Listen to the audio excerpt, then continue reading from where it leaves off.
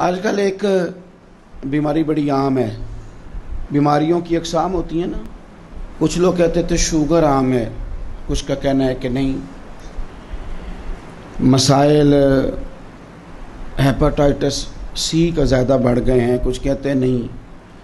अब तो जनाब हार्ट पेशेंट इससे भी ज़्यादा हैं।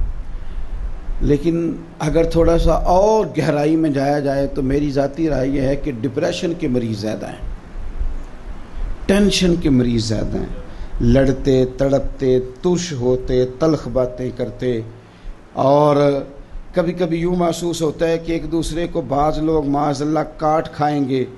लफ्ज़ों से, जुमलों से बेजारी का इजहार है, तलखी का इजहार है, सख्ती है लबो लहजे में। मेरे आला हज़रत फाजल बरेलवी रहमतुल्लाह मलफुजात शरीफ में एक वजीफ़ा बताते हैं। फरमाते हैं तो एक दफ़ा पढ़, ला हौला वला बिल्लाहिल अजीम। एक दफ़ा पढ़।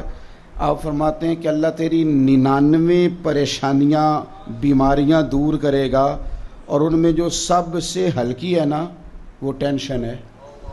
तेरी निन्यानवे परेशानियाँ, बीमारियाँ, तकलीफ़ें दूर करेगा और उनमें से जो सबसे हल्की बीमारी दूर होगी ना, वो टेंशन की बीमारी है। बाकी से बड़ी बड़ी दूर होंगी। तो निन्यानवे बीमारियों का इलाज एक दफ़ा आपने कहना ला बिल्लाजी निन्यानवे। तो गोली खाने को जो बंदा तैयार होता है और इंजेक्शन लेने को जो तैयार होता है तो वो लाहौल शरीफ पढ़ने को तैयार क्यों नहीं होता? वज़ाइफ पर, इबादात पर, अजकार पर, तवज्जो